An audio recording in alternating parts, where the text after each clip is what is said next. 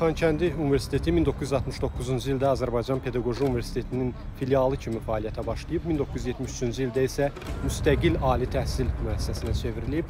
1991-ci ildə isə təəssüf ki, Xankəndi digər torpaqlarımız kimi işğal altına düşüb və yalnız 2023-cü ildə 19 sentyabrda 23 saatlıq lokal antiterror tədbirlərindən sonra Xankəndi də digər ərazilərimiz kimi işğaldan azad olunub. Hansı ki, separatizm ocağı idi bu ərazilər və indi Xankəndi Universiteti də öz yeni tələbələrini və müəllimlərini qarşılamağa hazırdır.